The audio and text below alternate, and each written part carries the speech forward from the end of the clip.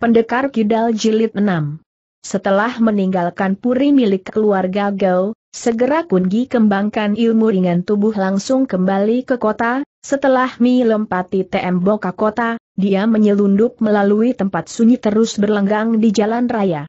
Malam belum larut, maka suasana masih cukup ramai, setelah putar kayun di jalan raya sebentar, Kun Gimi beloka ke sebuah jalan, di sana ada sebuah hotel bernama Siu Jun, keadaan di sini tenang dan tentram di tengah kerama Ion kota. Belum lagi Kun Gimi masuki pintu, seorang pelayan sudah menyambutnya munduk menyilakan masuk. Dengan langkah lebar Ling Kun Gi masuk ke situ, pelayan lain membawanya ke sebuah kamar kelas satu, servicenya memang cukup memuaskan.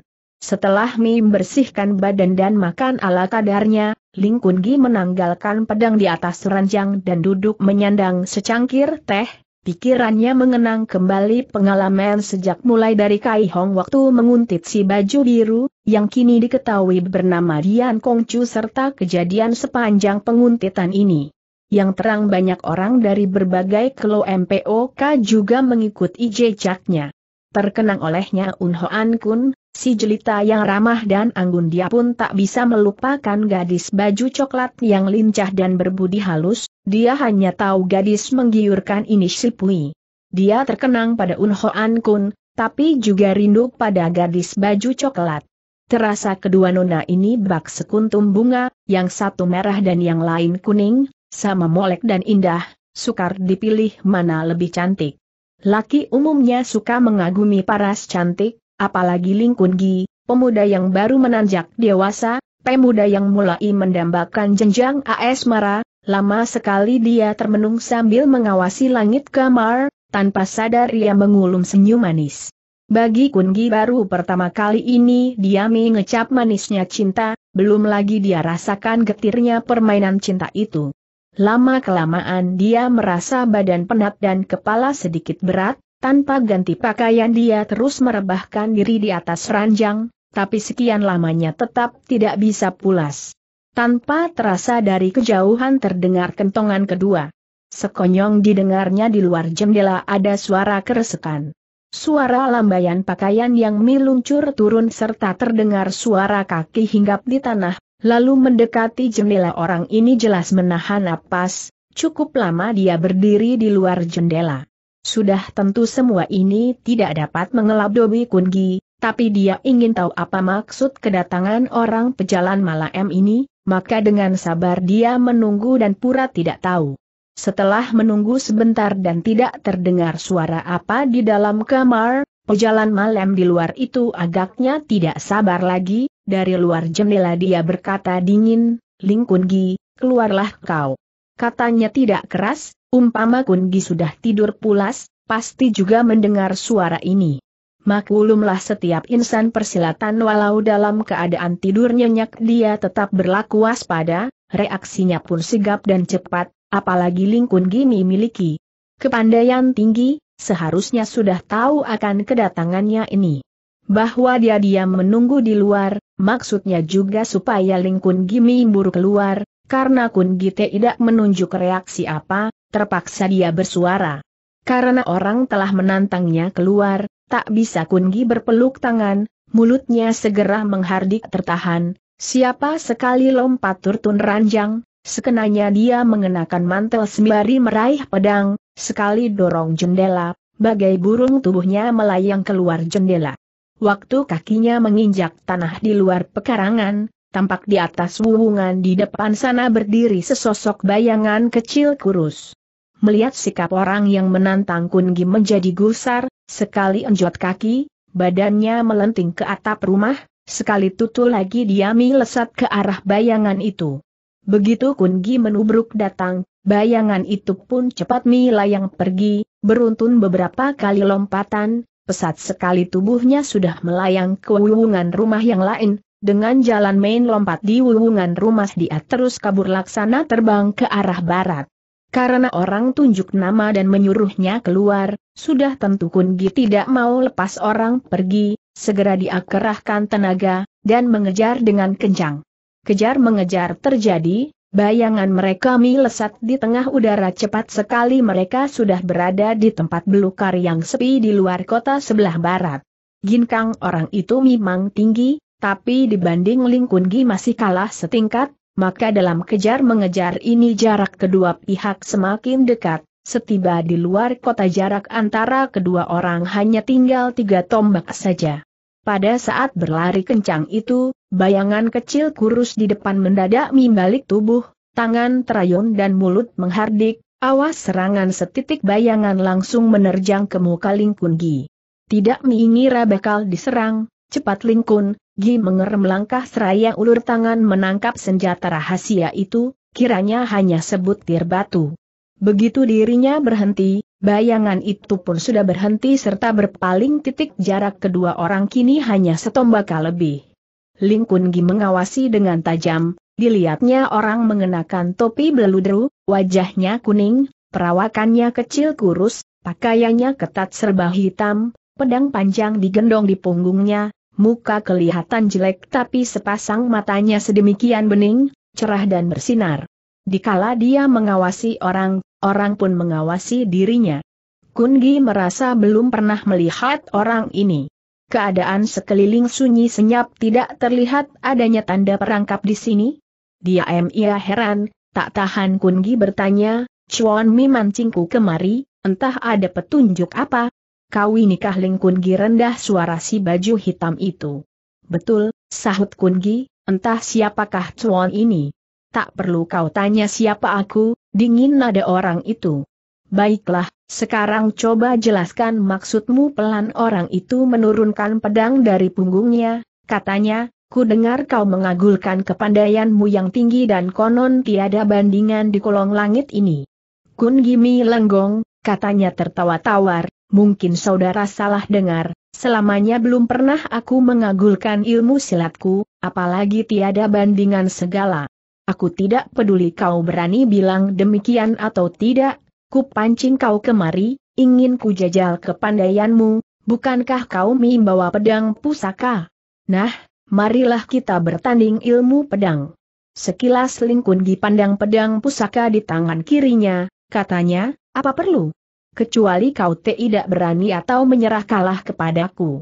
Menyipit Metu Kungi, katanya tegas, pedang adalah senjata tajam, kita belum saling kenal, tidak pernah bermusuhan lagi, kenapa harus bertanding pedang? Aku ingin menentukan siapa lebih unggul di antara kita, setelah kau berada di sini, mau atau tidak harus bertanding juga. Chuan dihasut orang atau atas keinginanmu sendiri, tiada orang menghasutku, atas keinginanku. Kalau demikian silakan Chuan kembali, maaf aku tidak bisa. Milayani, habis berkata Kungi terus putar tubuh hendak pergi. Ling Kungi, bentak orang itu, berdirilah di tempatmu Chuan masih ada urusan lain. Sambil mengacung pedang orang itu berkata, kau mau pergi, temanku ini yang keberatan. Gusar Kungi tapi dia tetap bersabar, katanya, agaknya Chuan mahir ilmu pedang, Tentunya kau pun tahu belajar ilmu pedang bukan untuk pamer atau buat adu kekuatan segala, tanpa sebab Cai Hat tidak akan sembarangan menggunakan pedang kau boleh kembali saja. Tidak bisa, seru orang itu. Sejak Cai He belajar pedang, selamanya Mei membatasi diri dan tidak suka sembarangan bergebrak dengan orang lain.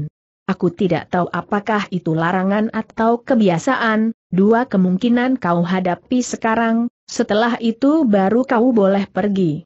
Bersinar mata Lingkungi, tanyanya, dua kemungkinan apa kau mengalahkan pedangku ini atau buang pedangmu serta menyerah kalah. Semakin terang sinar mata Lingkungi, katanya kalem, ku harap kau tahu diri, jangan menyudutkan orang sedemikian rupa. Berkedip orang itu, katanya tertawa dingin, ku cari kau untuk bertanding pedang, jangan bilang main paksa segala. Cai Hai tadi sudah bilang tidak akan sembarang menggunakan pedang. Kalau kau tidak mau bertanding, boleh kau lempar dan tanggalkan pedangmu di sini, kalau tidak mau menyerah, nah layani diriku, kita tentukan siapa lebih unggul siapa asor. Kukira murid Hoan Jiu Jile tentu bukan kantong nasi belaka.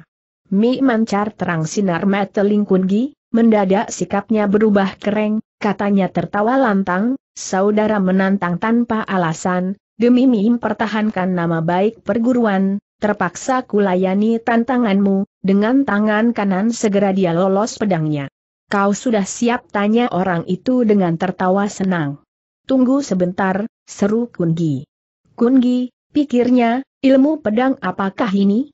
Begini licin dan ganas, agaknya aku terlalu pandang enteng padanya. Sedikit menarik napas, gaya pedangnya tiba mengikuti gerak lawan, pedangnya ditekan menindih pedang lawan. Sebat sekali lawan kembali menarik pedangnya, tapi setelah pedang tertarik ke belakang, tiba cahaya gemerlapan, sekaligus ia menusuk pula lima kali. Kelima tusukan pedang ini boleh dikatakan dilancarkan dalam satu gerakan, cepatnya tak terukur sehingga tampaknya hanya sekali tusuk saja. Kungi bergerak mengikuti gaya pedang musuh, beruntun ia pun balas menyerang lima kali, malah kelima jurus serangan balasan ini serba ragam arahnya, enteng dan cekatan, kedua pedang saling samber dan menempel, tapi tidak sampai menerbitkan suara. Agaknya si baju hitam tidak menduga di bawah serangan gencar lima kali tusukannya tadi Lingkun Gi masih mampu melancarkan serangan balasan malah, keruan dia tertegun, serta merta dia terdesak mundur dua langkah. Dengan dongkol dia menggerung tertahan, tiba ia menubruk maju pula, beruntun secara berantai dia lancarkan delapan kali serangan. Begitu hebat serangan ini sehingga metu orang serasa silau naganya dia sudah keluarkan seluruh kemampuan ilmu pedangnya. Sayang hari ini dia kebentur Lingkun Gi. Anak muda itu tertawa, katanya kalem, hatilah kau, mendadak pedang dia pindah ke tangan kiri, tubuh bergerak laksana angin berkisar ke kiri terus mendesak maju, mendadak sinar pedangnya berkembang, lalu menerjang miring laksana sinar perak. Kreng benturan keras minikak telinga, kedelapan jurus serangan si baju hitam seketika sirna tanpa bekas. Karena tekanan tenaga benturan yang keras itu, pedang di tangannya itu tak kuasa dipegang lagi dan terlepas terbang ke belakang, menyusul terdengar jeritan kaget melengking tajam. Sejak tadi si baju hitam bicara dengan suara rendah dingin sehingga sukar dibedakan di laki atau perempuan, Kali ini dia menjerit melengking tanpa terduga dan keluar dengan suara aslinya, suara nyaring merdu ini terang keluar dari kerongkongan seorang gadis. Begitu mendengar teriakan nyaring ini, lekas Kun gitarik pedang dan melompat mundur, dengan tajam ia mengawasi orang. Topi yang dipakai orang itu tadi sudah ditabasnya jatuh, maka tertampaklah rambutnya yang panjang hitam legam terurai di pundak. Lekas dia jemput pedangnya, dengan mendelik gusar di atap Ling Kungi sekejap terus tinggal lari pergi. Kungi tidak kira bahwa lawannya perempuan, sesaat dia berdiri milanggo. Pada saat dia berdiri menjublek inilah, tiba dilihatnya tiga titik sinar ungu melesat tiba dengan cepat menerjang ke dadanya. Waktu ketiga titik ungu itu hampir mengenai dada, gaya luncur yang semula lurus itu mendadak berpencar, satu menyerang tenggorokan, dua yang lain menerjang kedua sisi pundak. Betapa tajam pandangan mata Ki, dengan jelas dia melihat titik ungu timpukan perempuan baju hitam ini adalah tiga ekor kumbang kecil warna ungu, lekas dia ayun pedang menabas ketiga ekor kumbang itu. Ting, ting, ting, beruntun ketiga ekor kumbang kena dipukulnya jatuh. Mendengar suara ting-ting itu, Kembali Kun Gimi lenggong, pikirnya ternyata ketiga kumbang ungu ini hanyalah senjata rahasia, tadi kukira kumbang asli. Segera dia menjemput ketiga kumbang ungu itu, ternyata buatannya memang hidup dan mirip sekali dengan kumbang asli, cuma warnanya ungu, kelihatan segar dan hidup, di ujung mulutnya terpasang sebatang jarum baja halus sebesar bulu kebau, warnanya kemilau biru, terang jarum lembut ini beracun. Pada saat dia berjongkok mengambil ketiga kumbang ungu itu, didapatinya pula secomot rambut hitam, lekas dia mengambilnya pula, terasa lembut dan halus, warnanya lega mengkilap. Ia patrendus bau harum, jelas ini adalah rambut seorang gadis jelita. Siapakah dia? Menggenggam potongan rambut itu, sementara tangan lain menimang ketiga kumbang buatan, Ling Kun bertanya dalam hati, dari buatan ketiga kumbang yang begini baiknya, terang perempuan itu perang dari keluarga Tong di Sujan. Seketika pula dia terbayang akan perempuan jelita yang berdiri di belakang Tong Lo Hujan Malaem tadi. Jadi dia nyonya muda keluarga Tong. Hektometer, pasti dia, kalau tidak buat apa dia pakai kedok segala mencari setori kepadaku? Tak heran dia begitu getol menantang diriku bertanding. Mungkin karena diriku telah mengalahkan Pat Kuatutin sehingga orang keluarga Tong penasaran, maka secara diam-diami luruk ke Mori membuat perhitungan. Besok siang aku harus menemui Tong Lo Hujan pula di puri keluarga Gao, kenapa rambut dan ketiga kumbang buatan ini tidak langsung kukembalikan kepadanya setelah ambil keputusan, Kungi simpan kedua barang itu ke dalam kantong terus lari kembali ke hotel. Malam itu tak terjadi apa pula, Kungi tidur dengan nyenyak waktu dia mendusin hari sudah terang benderang. Begitu bangun segera dia bungkus ketiga kumbang buatan dan rambut itu dengan kertas, lalu buka pintu Mi manggil pelayan. Setelah Mi membersihkan badan serta sarapan pagi, melihat hari sudah cukup siang, cepat ia bebenah dan mau keluar bayar kening untuk berangkat. Tiba didengarnya langkah orang mendekati dari luar, didengarnya pelayan berkata sambil tertawa ramah, mungkin Lingya yang tuan cari menempati kamar ini, lalu muncul dua orang di depan kamarnya. Dengan seri tawa lebar, pelayan berlari masuk serta berkata, Chuan inilah Lingya adanya di luar ada seorang congkoan sipa hendak mencari Chuan. Patiangi yang ada di luar lantas melangkah masuk, katanya bersoja, atas perintah Loh Hujin, aku kemari menyambut Ling Ya. Kungi mengangguk sapanya, kiranya Pacongkoan, maaf, Cai Ha tidak sempat menyambut. Patiangi mengawasi pelayan-pelayan ini cukup tahu diri, lekas dia mengundurkan diri. Dengan berseri Patiangi segera bersoja, katanya, kejadian semalam hanya lantaran salah paham, orang Sipa banyak berlaku kasar, atas perintah Loh Jin disuruh kemari untuk menyatakan penyesalan dan minta maaf. Kun Gi tahu kalau orang ini licik dan banyak akalnya, diam dia waspada, katanya dengan tertawa, Pacong Kuan tidak usah menyesal, Cai Hai sendiri juga bersalah. Sejak pagi tadi Loh Jin suruh kemari menyambut Lingya, sayang Lingya belum bangun, maka ku tunggu di luar, kini kendaraan sudah tersedia, kalau Lingya tiada urusan lain, silakan berangkat. Baiklah, mari berangkat, ujar Kungi. Tanpa sungkan lagi, segera dia mendahului melangkah keluar. Seperti melayani majikan sendiri saja, dengan laku hormat Pak. Tian Gi mengikuti di belakangnya. Di ruang depan, Kungi merogoh kantong hendak bayar rekening hotel, tapi Patian lantas mimburu maju, katanya, rekening Lingya sudah kami bayar lunas. Ah, Mana boleh begitu kata Kungi. Ai, urusan sekecil ini, Lingya tidak usah sungkan, kami diutus menyambut kemari, itu berarti Lingya dipandang sebagai tamu keluarga Tong, mana ada tamu yang harus membayar kening hotelnya sendiri. Hal ini sungguh di luar dugaan Ling Kungi, tingkah laku Pacong Koan sekarang jauh berubah dari sikapnya semalam, ini betul membuatnya heran dan ragu. Tapi wajahnya tetap tenang, katanya, kalau begitu Loh Hujan terlalu baik padaku.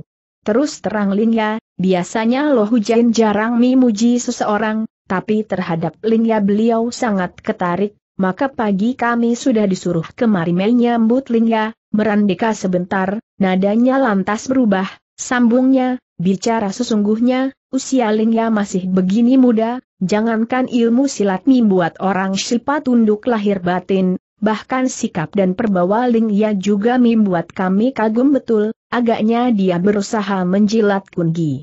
Sudah tentu hal ini juga dirasakan oleh Kungi, cuma dia tidak tahu untuk apa dan kenapa orang sampai merendah diri menjilat sedemikian rupa. Maka dengan tertawa tawar dia berkata, terlalu baik penilaian Pacongkoan terhadap diriku. Patian Gi jadi kikuk, katanya tersipu, orang Sipa bicara sejujurnya, bicara soal semalam ya sudah menang, tapi tidak bersikap congkak dan tak kabur, kalau orang lain tentu mengancam tenggorokanku dengan pedang untuk menunjuk jalan, tapi Lingya cukup bijaksana dan percaya pada kami, jelek orang Sipa ini adalah congkoan keluarga Tong yang disegani, kalau sampai harus menunjuk jalan dengan ancaman pedang di punggung, hidup setua ini di kalangan Kangou aku juga punya sedikit nama, bukankah habis pamorku ini? Tapi Ling Ya telah memberi muka dan mempertahankan gengsiku, sungguh orang Sipa merasa bersyukur dan berterima kasih, maklumlah, insan persilatan umumnya memang suka mengejar nama, apa yang dikatakan Patian Gi memang beralasan. Sudah tentu lahirnya saja dia merangkai kata halus, bahwa dia menjilat sedemikian rupa tentu masih ada udang di balik batu. Di luar pintu dua orang busu dari keluarga Tong menuntun dua ekor kuda, melihat Pacong Kean keluar, lekas mereka maju mendekat.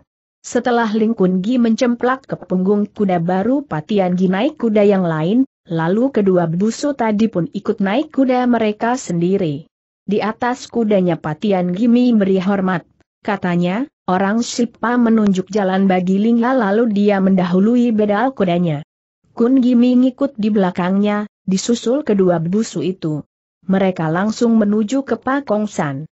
Kira setanakan nasi, mereka tiba di bawah Pakongsan, tampak di luar hutan berbaris delapan laki seragam hitam, melihat Pacong Kean datang, serentak mereka mi beri hormat. Di atas kudanya Patian Gimi balas hormat pula, katanya tertawa, sebagai tamu, silakan Lingya berjalan lebih dulu. Pacong Kuan jangan sungkan, kau saja yang menunjuk jalan, ujar Kungi. Ling Ya adalah tamu, betapapun orang Shipa tidak berani lancang. Kungi tidak banyak bicara lagi, segera dia bedal kudanya ke atas gunung, di bawah iringan Patian Gi, cepat sekali mereka sudah tiba di depan puri keluarga Go. Wakil Chong Koan Hing Sukawei sudah menunggu di depan pintu, Segera dia suruh seorang busu di sampingnya masuk memberi laporan, dua busu maju mi megang kendali kuda terus dituntun ke belakang. Dengan tertawa lebar Hing Sukawe maju mi nyambut, sejak tadi kami ditugaskan menyambut di sini, Lingya tentu sudah kapai, lekas silakan masuk.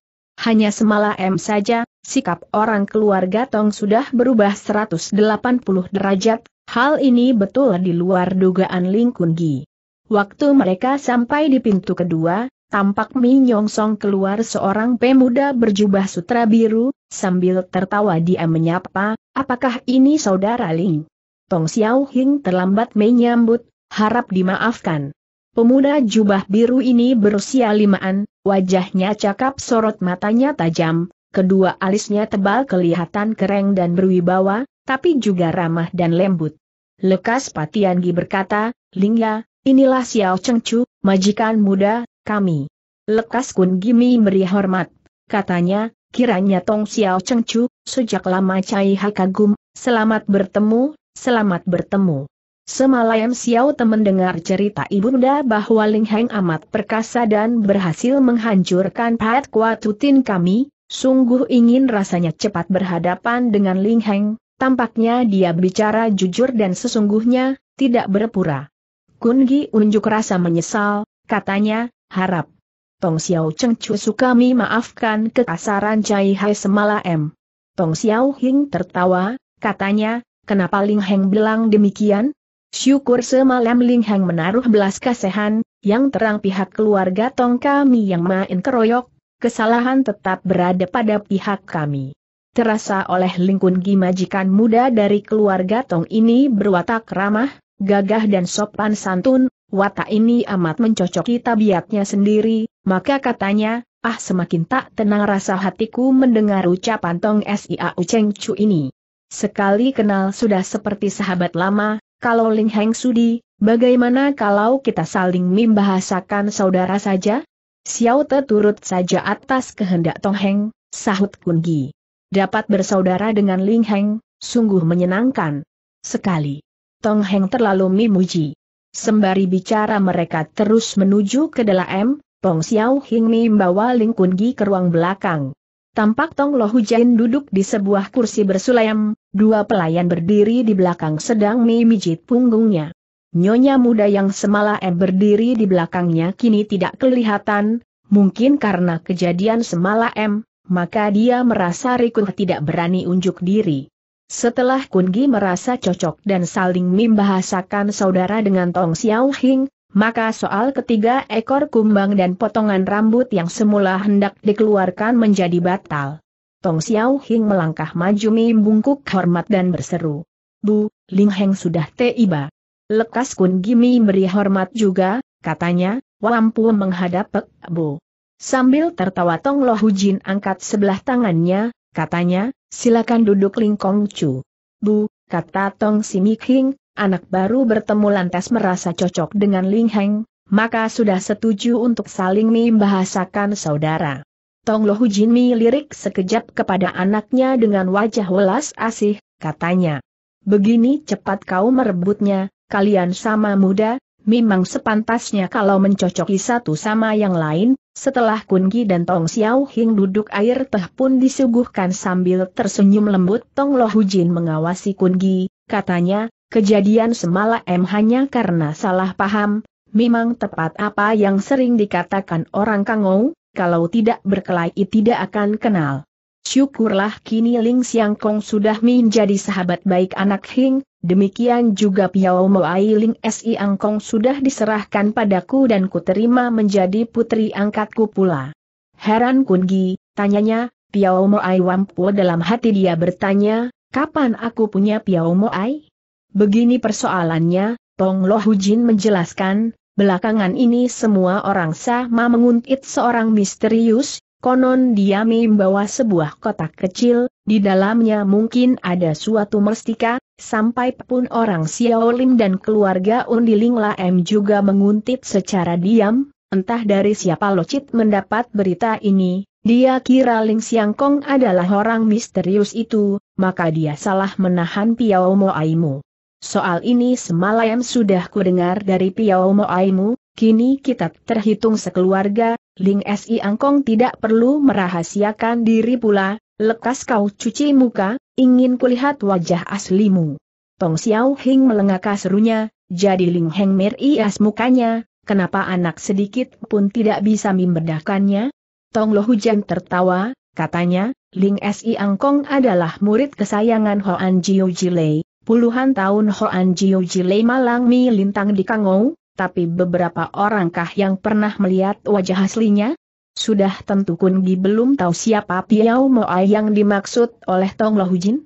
Tapi peduli siapa dia, kini dirinya sudah mengikat persaudaraan, sementara Tong Lo Hujin menerimanya sebagai keponakan pula, setelah kedok mukanya diketahui orang, demi kehormatan dirinya pula, apa boleh buat, tidak enak dia menolak katanya, perintah Pek Bote tidak berani wampu menolaknya, dari kantong bajunya dia keluarkan sebutir obat pencuci muka, setelah diremas dan digosok di telapak tangan terus diusap ke muka, lalu dikeluarkan pula sepotong handuk kecil untuk membersihkan muka. Wajahnya yang semula berwarna legam, setelah dicuci dengan obat, seketika Tong Lohujin, Tong Xiao Hing serta kedua pelayan terbeliak matanya. Sungguh tak pernah Mirka bayangkan Lingkun Gi yang memiliki ilmu silat begini tinggi ternyata adalah pemuda cakap ganteng tak terhingga bukan saja bagus, juga lemah seperti pemuda yang tidak pandai main silat. Sebetulnya Tong Xiao Hing sudah terhitung cakap tapi sekarang dia merasa kalah dibanding Kun Gi. Serunya tergelak, Ling Heng, cakap benar kau ini. Seperti mengawasi menantunya saja, semakin dipandang semakin ri ang hati Tong Loh Hujin, dia manggut senang dan berkata dengan tersenyum puas, Ling Siang Kong betul seorang pemuda yang serba unggul dibanding pemuda umumnya, lalu dia berpaling serta menambahkan, Junlan, Ling Si Angkong sudah datang, lekas kalian suruh Toa Slocia dan Ji Slocia keluar. Pelayan bernama Junlan mengiyakan dan berlari pergi. Kemudian Tong Lo Hujain bertanya, berapa usia Ling Siang Kong tahun ini? Tahun ini Wampu genap satu, sahut Kun Gi sambil membungkuk hormat. Berseri girang wajah Tong Loh Hujin, sekilas dia lirik kepada Tong Xiao Hing, katanya, Ling Si Angkong lebih muda tiga tahun daripadamu, lebih tua dua tahun daripada adikmu, lalu katanya. Ditujukan kepada Ling Kun Gi, ku dengar ibumu juga menghilang, apakah diculik oleh komplotan Chin Chuling? Wampu sendiri belum tahu, tapi suhu suruh Wampu terjun ke Kangou, tujuannya memang mengejar jejak Chin Chuling, dari sini dapatlah Wampu simpulkan kalau peristiwa hilangnya ibu pasti ada sangkut pautnya dengan komplotan ini. Tong Lo Hujan Manggut, katanya, Ling Si Angkong masih punya keluarga lain di rumah ha? Tiada lagi, Wampu masih kecil ayah sudah meninggal, ibu yang membesarkan Wampu. Tong Lo Hujan Manggut dan tak bicara lagi. Terdengar langkah lembut mendatangi, dari belakang pintu angin teruar bau harum semerbak lalu muncul dua gadis jelita yang mempesonakan. Yang sebelah kanan berperawakan tinggi semampai, mengenakan pakaian warna ungu ketat, wajahnya halus pipinya bersemu merah, sepasang matanya nan bening kemilau mi mancarkan sinar tajam ke arah Lingkungi. Seorang lagi bertubuh agak kecil ramping, mengenakan gaun panjang warna coklat muda dengan baju panjang warna hijau pupus, dia bukan lain adalah Nona Sipui, gadis jenaka yang lincah itu. Kungi hanya tahu Nona nakal ini Sipui, namanya siapa tidak tahu, yang terang dia suka mengenakan pakaian warna coklat. Kejadian hanya sekejap belaka, begitu melihat Kungi, Wajah Nona Pui yang molek seketika tertawa lebar bak bunga mekar, dia meimbur maju seringan angin dan serunya riang, Toa Piaoko, ternyata kau telah datang, kemarin anak buah Tong Citia menculik aku dan minta keterangan tentang diri Piaoko, memangnya aku tidak tahu ke manakah selama ini? Semala M. Tong Citia membawaku kemari dan aku mengangkat Loh Hujin ini sebagai ibu angkatku, mulutnya nerocos dengan nyaring dan cepat, sembari bicara berulang kali dia mengedip kepada Ling Kungi, maksudnya sudah tentu minta Kungi mengakui dirinya sebagai Piao Moai. Baru sekarang Kungi mengerti bahwa perempuan yang diculik Tong Citya adalah gadis Sipui ini. Nona yang belum diketahui namanya kini ternyata menjadi adiknya, sungguh brutal dan lucu. Sudah tentu Kun Gimi lihat kedipan mata si Nona dan tahu maksudnya. Wajah nan cerah bak bunga mikar di musim semi, walau kelihatan malu, tapi tampaknya minta dikasihani dan mengandung permohonan yang sangat. Maka dengan tertawa segera dia berdiri, katanya, surat Tong Chit dia kemarin mengatakan bahwa dia menculik adikku dan supaya aku menukarnya dengan barang yang kubawa, semula aku tidak mengerti siapa adikku yang dia maksud, Kiranya kau yang tidak mau pulang, buat apa selalu mengikuti diriku? Anak perempuan tidak baik keluyuran di Kang Ou, katanya memang persis nada seorang kakak memberi nasihat kepada adiknya. Nona Pui tertawa riang, tawa yang manis lalu melelet lidah, katanya, memangnya aku ini anak kecil, kenapa tidak boleh main di Kangou? Banyak orang Kangou yang menguntitmu sepanjang jalan, Aku hanya ingin tahu barang apa sebetulnya yang kau bawa itu. Sampai di sini, dia mengeluarkan sebuah kotak perak gepeng, lalu diacungkan di depan Ling Kun Gi, katanya sambil cekikikan, inilah oh tiap piau, piau kupu, pemberi on ibu, bila ditimpukan bisa pentang sayap dan terbang seperti kupu asli, inilah salah satu dari tiga macam senjata rahasia keluarga Tong yang paling lihai, Cici Bun Hing biasanya menggunakan Ci Hang Piao, Piao kumbang ungu. Merah muka si nona baju ungu, serunya gugup, adik Ping, jangan usil kau. Tergerak hati Kun Gimi dengar Cici Bun Hing biasanya menggunakan Ci Hang Piao, batinnya, jadi nona yang menantangku bertanding pedang semalam adalah nona baju ungu ini. Berkedip metu nona Pui lalu mengerling ke arah nona baju ungu, katanya, Piaoko, hampir saja aku lupa, inilah Bun Hing Cici, lalu dia balik dan berkata kepada Nona Baju Ungu, inilah Toa Piao Koku, Ling Kun Gi, lekas Kun Gi memberikan hormat kepada Nona Tong. Cerah wajah Tong Loh Hujin, katanya, Bun Hing, Ling Si Angkong sudah mengikat saudara dengan engkohmu, dia bukan orang luar lagi, kau pun harus memanggil Ling Toa padanya. Sekilas mata, Tong Bun Hing melirik katanya malu, Ling Toa Ko semalam dia begitu keras kepala, dingin dan menantang. tapi sekarang sikapnya malu, suara panggilannya merdu dan lembut. Mi mandangi Ling Kun Gi lalu mengawasi putri sendiri, saking senangnya Tong Lo Hujan tertawa lebar, katanya, Bun Hing, kenapa kau ini? Biasanya kau tidak takut langit tidak gentar bumi, seperti kuda liar yang tidak terkendali, Ling To aku kan bukan orang luar lagi, kenapa harus malu segala? Nona Pui tertawa geli, katanya, Bu, asal kau pasang tali kendali pada diri Cici pasti dia tidak akan binal dan liar lagi. Sudah tentu Tong Bun Hing tahu ke mana tujuan kata ini, seketika dia merengut sambil menuding. Adik Ping, kau berani menggodaku segera ia hendak mengkili ketiak Nona Pui. Cepat Nona Pui menyingkir ke belakang Ling Kun Gi, katanya cekikikan, aku toh bermaksud baik, kuda yang binal harus diikat dengan kendali yang kokoh, Apakah perlu aku bantu mencarikan seutas tali dia? Sembunyi di belakang kunki, sembari bicara jarinya menuding anak muda itu, mukanya unjuk mimik lucu dan melelek lidah segala. Malu dan gugup juga Tong Bun Hing, serunya membanting kaki, memangnya aku seperti kau, buka mulut Piaoko, tutup mulut Piaoko tiada hentinya, mesra sekali. Nona Pui bertolak pinggang, serunya sambil membusungkan dada, memang dia Piaokoku, apa salahnya aku memanggil dia Piaoko? Nah, dengarkan aku memanggilnya lagi. Piaoko, Piaoko. Piao Moai, tukas Kungi sambil mengerut kening sebesar ini kau masih bertingkah seperti kanak. Memangnya kau tidak malu ditertawakan Tong Pekbo?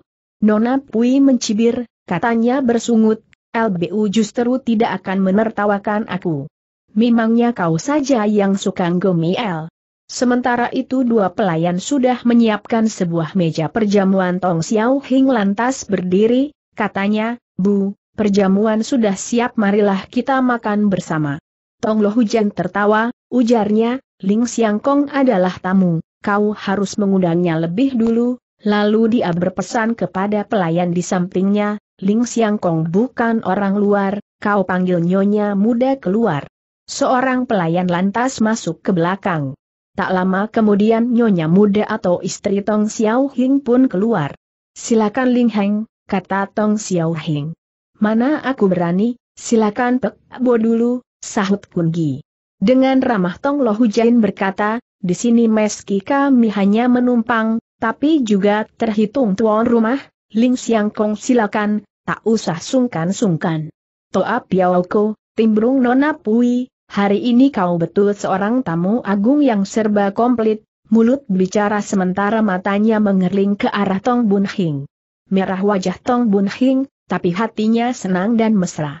Setelah basa-basi ala kadarnya, akhirnya Tong Lo Hujain duduk paling atas, Ling Kun duduk di tempat tamu, selanjutnya beruntun Tong Xiao Hing suami istri, lalu kedua nona jelita itu. Dua pelayan melayani mereka makan minum. Tiba Nona Pui rebut poci arak sambil berdiri, katanya, Bu, kuaturkan secawan padamu serta kuaturkan selamat pula. Dia habiskan secangkir arak. Pelayan kembali mengisi cangkir mereka, Nona Pui tidak lantas duduk ia angkat cangkir dan acungkan ke arah Tong Xiao Hing suami istri, katanya. Toako, Toaso, Xiao Moai juga aturkan secangkir kepada kalian, Sekali tenggak dia habiskan pula secangkir. Dia tetap tidak mau duduk setelah pelayan mengisi pula cangkirnya, dia tertawa kepada Kungi, katanya, Toa Piaoko, kau tahu aku tidak bisa minum arak. Tapi dalam perjamuan ini, usiaku paling muda, seharusnya satu persatu kuaturkan arak kepada kalian semua, tapi paling banyak aku hanya sanggup minum tiga cangkir, terpaksa kuaturkan secangkir terakhir ini kepada Toa Piauko bersama Bun Hing Cici saja, segera ia acungkan cangkir kepada mereka berdua terus ditenggaknya habis. Tong Lo Hujin mengawasi Kun Gi lalu berpaling kepada putrinya, kedua muda-mudi memang pasangan setimpal kurniatian. Karena hati senang, tak hentinya dia ambil lauk pauk dan diangsurkan ke mangkuk Kun Gi. Tong Xiao Hing suami istri saling pandang, keduanya tersenyum penuh arti. Biasanya Tong Bun Hing lincah dan suka bergerak nakal lagi, entah kenapa hari ini dia pendiam dan malu, tapi sering matanya milirik Kun Gi. Sejam kemudian perjamuan ini telah usai, boleh dikatakan tuan rumah dan tamu sama senang dan puas. Setelah kenyang langsung Kungi mohon diri. Toa Piaoko, kata Nona Pui, aku pun ingin pergi. Piao Moai, ujar Kungi kau sudah punya ibu, tinggal saja beberapa hari lagi, aku ada urusan penting. Ling Siang Kong juga tidak usah tergesa kata Tong Loh Hujin, urusan yang hendak kau kerjakan sudah ku suruh Locit bantu mengawasi, selekasnya akan datang berita. Adik Ping, kau tidak boleh pergi, kata Tong Bun Hing. Nona Pui mimisikinya, yang benar kau melarang dia pergi bukan? Malu dan gugup Tong Bun Hing, serunya, eh, minta diajar kau tangannya segera mengkili ketiak orang. Nona Pui berjingkrak geli sambil cekikikan, serunya, Cici yang baik, ampunilah aku. Lalu Kungi berkata kepada Tong Loh Hujin, Wampu betul ada urusan, tak bisa lama di sini. Kalau Ling Siang Kong mimaka esa, Lo Sin tak enak menahanmu lagi, lalu dia berpaling kepada pelayan, katanya berpesan, pergilah kau ambil pedangku itu. Cepat pelayan itu berlari masuk sekejap saja dia sudah keluar pula membawa sebatang pedang kuno dan dipersembahkan kepada Loh Hujin. Setelah Mi megang pedang berkatalah Tong Loh Hujin, tiada apa yang bisa ku berikan, biarlah pedang ini ku hadiahkan kepada Ling Siang Kong. Kun Gi tahu bahwa pedang ini barang mestika, belum lagi Tong Loh Hujin bicara habis, lekas dia menyela, begini besar pemberi On Pek Bo, Wampu mana berani menerimanya? Kau sudah bersaudara dengan Xiao Hing, Piao Moaimu juga kuangkat menjadi puteriku, Sin jadi terhitung orang tuamu. Pedang ini kuberikan sebagai hadiah pertemuan ini, lekaslah kau menerimanya. Memangnya kenapa kau Piaoko, timbrung Nona Pui, kalau kau tidak terima, ada orang tidak senang dan gelisah hatinya, apalagi maksud baik ibu masa kau tolak mentah. Ling Siang Ko NG, ujar Tong Lo Hujan mendesak. Kalau kau tidak menerimanya berarti kau tidak memberi muka kepadaku. Nona Pui segera ambil pedang dari tangan Tong Lo Hujan dan disisipkan ke tangan Ling Kun Gi, katanya lirih, ibu nanti marah, Toa Piao Ko, lekas kau aturkan terima kasih kepada ibu. Didesak sedemikian rupa, terpaksa Kun Gi menerimanya, ia menjura, katanya sungguh, terpaksa Wampu terima hadiah Pekbo ini. Berseri wajah Tong Loh Hujin, katanya manggut, ya, begini kan baik, entah sengaja atau tidak dia berpaling kepada putrinya, katanya pula, pedang ini dulu dibeli oleh ayah almarhum dengan harga tinggi dari luar perbatasan, waktu itu usiaku baru genap setahun, menurut adat istiadat, anak yang genap setahun harus dirayakan secara meriah. Hari itu, di hadapanku penuh berbagai barang, ada pupur, gincu, pakaian, mainan dan perhiasan, ada pedang, panah dan lain, aku diberi kesempatan untuk memilih satu di antaranya, tak terduga aku hanya mengambil pedang pendek ini, ayah almarhum waktu itu bilang anak sekecil ini sudah suka main pedang, biarlah pedang ini kelak menjadi mas kawinnya setelah dewasa. Sejak itu, pedang ini sudah puluhan tahun mendampingi aku. Sambil melirik Tong Bun Hing, Nona Pui tertawa, katanya. Oh, kiranya pedang ini mas kawin ibu di waktu muda. Jengah wajah Tong Bun Hing, dia tidak berkata, cuma matanya milotot kepada Nona Pui. Kembali Kungi minta diri. Mendengar Kungi hendak pergi, merah mata, Tong Bun Hing, Sakapnya yang malu tadi lenyap kini berganti rasa berat untuk berpisah. Tong Lo Hujan manggut, katanya kepada Tong Xiao Hing, nak bersama adikmu antarkan Ling Si Angkong dan budak nakal ini berangkat. Nona Pui maju ke hadapan Tong Lo Hujan dan memberi sembah sujud, katanya, Bu, anak pergi, harap engkau orang tua jaga diri baik. Nak setiba di rumah, jangan lupa sampaikan salamku kepada ibumu, pesan Tong Loh Hujin. Terima kasih Bu, kata Nona Pui. Di jalan kau harus dengar petunjuk Piaoko, jangan turuti adat sendiri, aku tahu kau sudah biasa disayang dan Eilman, belum tentu mau dengar petunjuk Piaokomu. Sepanjang jalan ini banyak kaum persilatan yang berlalu lalang, kukira lebih baik Piaokomu mengantarmu pulang lebih dulu. Nona Pui manggut, bersama Ling Kun Gi mereka keluar di antar Tong Xiao Hing dan Tong Bun Hing. Patian Gi sudah menyiapkan dua ekor kuda. Sambil berjalan keluar Tong Xiao Hing bertanya, entah kapan kita bakal berkumpul lagi? Setelah urusan selesai, pasti aku pergi ke Sujuan menjenguk kalian, kata Kun Gi. Urusan sudah sejauh ini, Tong Bun Hing mi lepaskan rasa malu lagi, segera diami nimbrung. Ling To Ako, sebutkan saja tanggalnya, kapan kau akan ke rumah kami? Berpikir sebentar baru Kun Gimi mutuskan, paling cepat tiga bulan, paling lambat setengah tahun. Wah, setengah tahun apa tidak terlalu lama, kata Tong Xiao Hing. Ling To Ako, Selatong Bun Hing. Kukira tiga bulan sudah cukup lama, hari ini bulan 4 tanggal 12, jadi tanggal 12 bulan 7 kami menunggu kedatanganmu, lalu dia tanya kepada Nona Pui dan kau adik Ping, kapan kau juga ke rumahku? Setelah aku pulang dan minta izin pada ibu, segera aku menyusul kalian, sahut Nona Ping. Kungi berdua segera cemplaka ke punggung kuda, katanya, Saudara Tong, Nona Tong, selamat tinggal, lalu dia memberi salam pula kepada Patian Gi dan Hing Sukawei, Pak Chongkoan, Hing Hu Chongkoan, sampai bertemu. Tersipu Patian Gi berdua mimbalas hormat. Serunya, Lingla, hatilah di jalan, kami tidak mengantar. Kun Gi bedal kudanya berlari kencang turun gunung, Nona Pui mengikutinya sambil melambai tangan ke belakang. Berlinang air mata, Tong Bun Hing, ia pun melambaikan sapu tangan, terlaknya, Ling To Ako, tiga bulan lagi kau harus datang titik koma padahal kuda sudah lari jauh. Tapi Tong Bun Hin masih berdiri milanggergo dengan dua jalur air mata membasahi pipi. Dik, hayolah masuk, kata Tong Xiao Hing dengan tertawa, jangan khawatir urusanmu serahkan padaku, tanggung beres. Merah muka Tong Bun Hing, katanya, aku tak tahu apa yang to aku maksudkan lalu dia berlari masuk lebih dulu. Oh oh oh oh oh oh oh. Sekejap saja kuda Lingkun Gi sudah sa-MPAI di jalan raya. Nona mau ke mana tanyanya berpaling ke belakang. Nona Pui Mim bedal kudanya dan berjalan sejajar, katanya tertawa geli, Toa Piaoko, dengan siapa kau bicara? Sudah tentu dengan kau. Ya, setelah meninggalkan mereka, kau lantas tidak anggap aku sebagai Piao Moai lagi. Kalau aku punya adik selincah dan secantik kau, Tentu bukan main senang hatiku cuma sayang aku punya adik yang tidak diketahui namanya.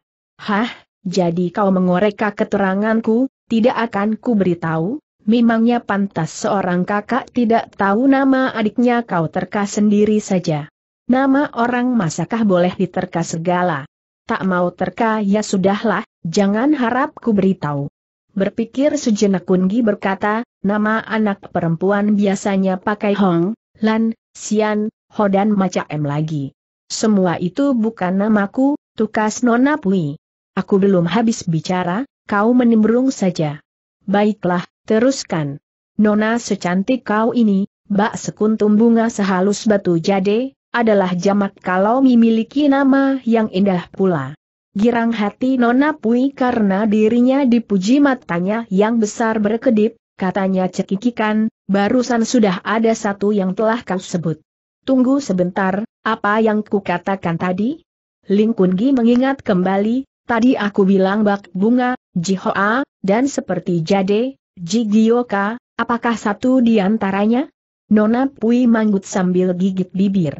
Ku dengar Nona Tong Mi manggilmu adik Ping, cantik lembut dan lincah bak bunga dan seperti batu jade, lala ditambah satu huruf ping lagi, mendadak bersinar matanya, serunya tertawa, Jiping, betul tidak? Merah muka Nona Pui, serunya kaget dan senang, bagaimana kau bisa menebaknya? Soalnya nama yang serasi dan cocok dengan huruf ping hanya huruf J saja jadi kau bernama Pui Jiping. Nona Pui, sebetulnya kau mau ke mana tanya Kungi? Hi, Kau tidak memanggilku Piao Mai lagi aku bicara dengan sungguh. Memangnya memanggil Piao Mai lantas tidak sungguh katanya sedih, mata pun merah dan hampir meneteskan air mata. Sepatah kata salah diucapkan menimbulkan salah paham orang, sudah tentu Kungi jadi gugup, lekas dia berkata sambil unjuk tawa, tanpa sengaja kataku menyinggung perasaanmu, kenapa lantas keki? Kutanya kau mau ke mana, kan bermaksud baik juga. Pedulikan aku mau pergi ke mana? Tong Lohujin sudah berpesan, aku disuruh mengantarmu pulang. Monyong mulut Pui Jiping, jengeknya, memangnya pesan mertua, sudah tentu kau harus mematuhinya.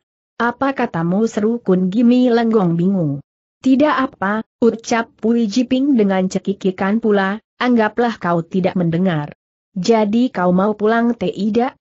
Semula ingin menengoka ibu, tapi sekarang tidak. Aku ingin ikut kau. Ikut aku? Mana boleh. Kenapa tidak boleh? Kau menguntit si mata satu menyelidiki barang yang dibawanya, aku juga mau ikut. Tidak boleh, Nona Belia seperti kau tidak boleh keluyuran di Kangou yang penuh bahaya, dua kali kejadian telah kau alami memangnya belum kapok. Soalnya aku tidak siaga, anak buah Tong Citia juga kurobohkan semua. Piau Mai yang baik, kau pulang saja, kalau kau anggap aku sebagai piauku, kau harus turut nasihatku. Kenapa aku tidak boleh ikut kau kau anak perempuan? Aku tahu kau sudah punya si dia, mana aku ini kau taruh dalam hati. Mertua memang lebih sayang kepada Minantu. Kau takut berjalan dengan aku, khawatir diketahui oleh dia? Kau ini mimbua el apa seru Kungi gugup dan malu.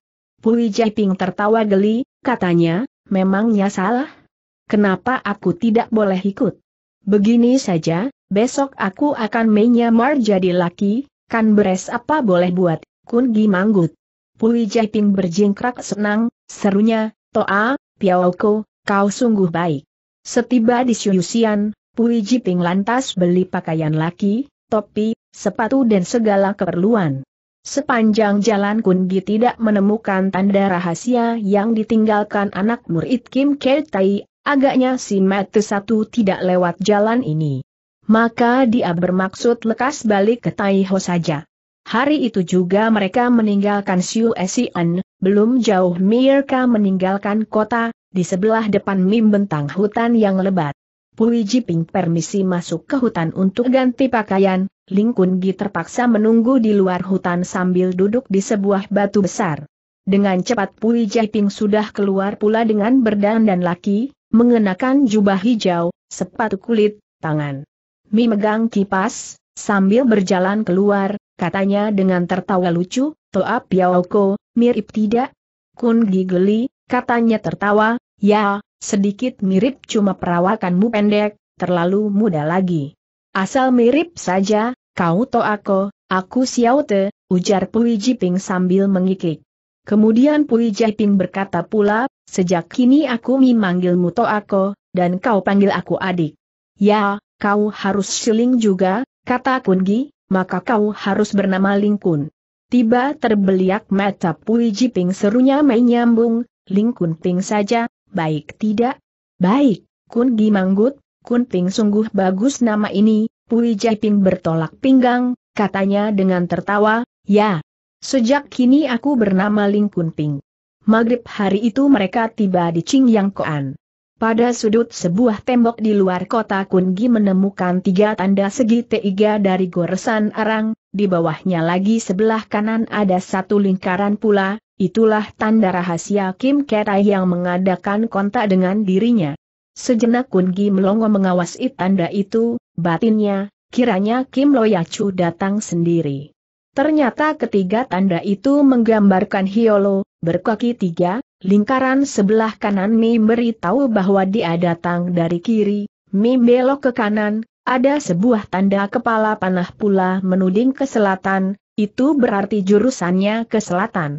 Duduk di punggung kudanya Kungi menerawang keadaan dan merancang perjalanan selanjutnya.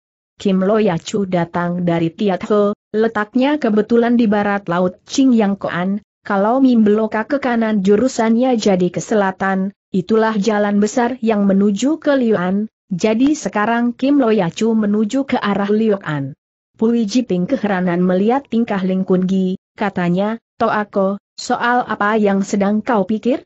Kun Gi tersentak sadar, sahutnya, oh, tidak apa, mari berangkat. Chin Yang Koan adalah sebuah kota yang cukup ramai, hari sudah menjelang petang, tiba saat Nfat cari hotel untuk bermalam, tapi Kungi keperak kuda membedalnya ke jalan besar. Terpaksa Pui Jaiping larikan kudanya pula, tanyanya Toako, apa yang kau temukan? Kutemukan tanda rahasia Kim Loyacu, dia sudah menyusul kemari. Siapakah Kim Loyacu? Kim Loyacu adalah pejabat Siang Bun Murid Preman Xiao Limpei. Jadi kau sudah berjanji mengadakan kontak dengan dia? Kun Gimi ngangguk. Tanpa bicara mereka terus menempuh perjalanan cepat sejauh tahun 1940-an li, setiap tiba di simpang jalan selalu mereka menemukan tanda rahasia Kim Loyacu, setelah petang mereka tiba di Ingho. Ingho adalah sebuah dukuh kecil, umumnya orang desa biasa tidur lebih dini, jangankan mendapatkan tempat untuk bermalam, mencari warung makam pun sukar. Terpaksa Kungi menghentikan kudanya di tepi jalan, mereka duduk istirahat, Pui Jiping keluarkan bekal makanan yang dibawakan oleh keluarga Tong, memang perut sudah lapar, dengan lahap mereka ganyang habis dua bungkus nasi dan lauk yang lezat.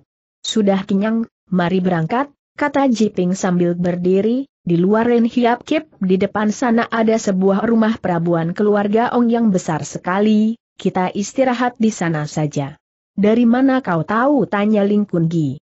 Aku sering lewat jalan ini, sudah tentu apal keadaan sekeliling sini. Mereka menempuh perjalanan nol anli lagi batu sampai di In Hiap Kip. Waktu itu sudah kentongan pertama, mereka langsung menuju ke arah barat kota, di sana memang terdapat sebuah rumah perabuan Marga Ong.